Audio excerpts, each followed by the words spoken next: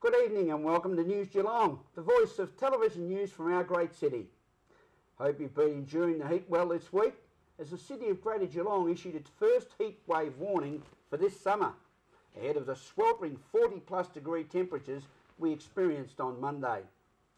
Larni Salathiel will update us with the latest in Geelong and surrounding regions weather later in the program. Tonight we feature a continued community awareness from Victoria Police, Geelong, regarding the Geelong Region's road safety programs in 2010 in the ongoing campaign to reduce our region's road toll.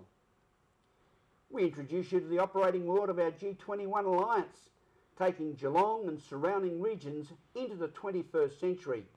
And in the world of sport, with Tim Michell, an interview with Geelong Cricket Association President Mr Grant Dew regarding the continued and exciting developments in our local cricket competitions. Opening tonight's news, we journey on down to Queenscliff to look at the redeveloped Queenscliff Harbour, a magnificent step forward for the one remaining borough in our local government structure. Meryl Friend reports. Thanks, Graham. And I'm down here at the Queenscliff Harbour. It's brand new. It's all been refurbished. $38 million with a beautiful observation deck um, to have a look at the 360 degree view. There's a brand new marina and retail shops and restaurants. And we're going to be able to have a chat to uh, Sean Blackwood, who is the General Manager of the Queenscliff Harbour. So we're standing up here 34 metres above the ground in this fabulous uh, observation tower that you can see 360 degrees all around the beautiful bay. Yeah, that's correct. Um, the observation tower wasn't actually part of the original development. Um, the, the way it came about was Port of Melbourne, uh, during the early stages of our development, um, said that they would like to build a tower on our site, and uh, we said, well, we'd like to have a chat about that. And um, within a, a, cooperation between um, QHPL, which is our company, and um, and Port of Melbourne, we, we constructed the tower. Uh, we poured it in four days. It was just one continuous pour. And um, yeah, so this is now the, the first lighthouse that's been built in Victoria in 90, 94, maybe 96 years, somewhere in around that number. But uh, essentially, the, the tower's here to guide larger ships into the harbour, eh, sorry, into Port Phillip. So, how is this all funded, Sean? Okay, um, the harbour development is, is all private enterprise, so it was funded by a, um, a, a, group which is QHPL and QBY. Um, they supplied the majority, all the money to, to build the development. So, and total spend to date, and we are still spending, but yeah, about 38 million. I'm Meryl Friend for News Geelong. Thank you, Meryl.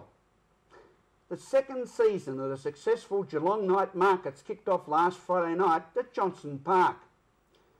Following the success of the inaugural Geelong Night Market last year, the Queen Victoria Market Proprietary Limited, in conjunction with Central Geelong Marketing, has again launched the innovative Friday nights in the central area of Geelong.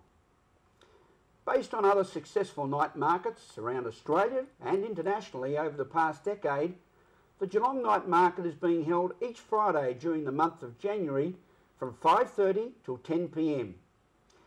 Many different types of stalls attract local citizens as well as many holiday makers to a family environment of the fun of the fair. Health and Harmony is an area dedicated to mind, body and spirit with massage therapists, reflexology, Rolla loves that one, tarot and aura readers, as well as related natural products.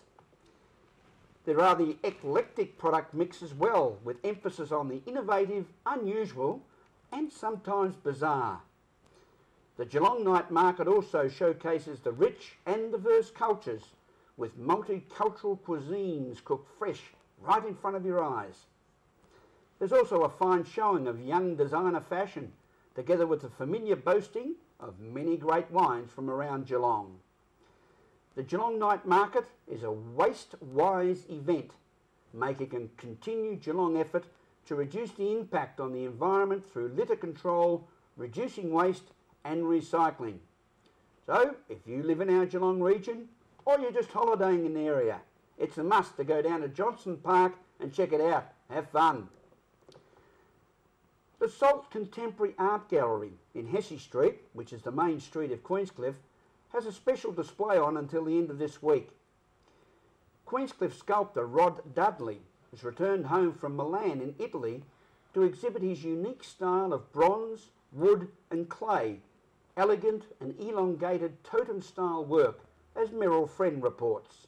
I'm here at the Salt Contemporary Art Gallery in Queenscliff in Hesse Street with the sculptor Rod Dudley, and his exhibition is here until the 15th of January. In, in 1965, you, you left Australia and you took off to Milan. Yes. And you've been living there for a very long time now. Yes, pretty well all the time. Um, I've I virtually w- left Australia to s- sort of find myself uh, in um, in a figurative way. Um, because at the time uh, I was a bit shocked with uh, blue poles and paintings like like that, and uh, a few of my mates that were seen a bit.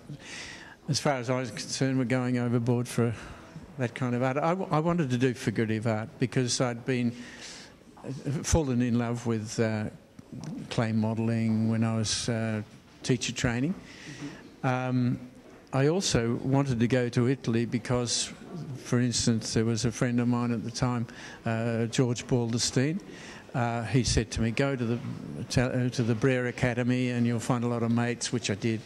Um, I just stayed there for nine months or something. The not even the academic year. So the exhibition runs until January the 15th in Queenscliff. I'm Meryl Friend for News Geelong.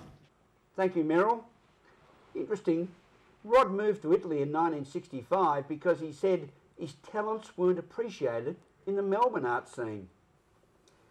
Following on from our report last week regarding the unfortunate rock throwing incidents from overpasses on the Geelong Ring Road, we can report that Victoria Roads has reacted positively and promptly with inspections to be carried out along the Geelong Ring Road to look at identifying ways and means to stop the rock attacks.